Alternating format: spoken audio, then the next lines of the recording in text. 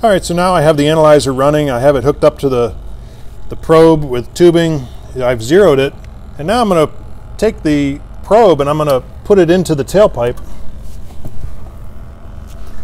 And basically I want to get it in there so we get a really good sample when we turn on the forklift. So I think that's going to be good. Now we'll get it turned on and we can get some gas readings.